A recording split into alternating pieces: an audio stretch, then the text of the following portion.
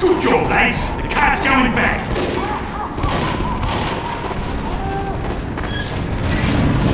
Attention. Five minutes left. Five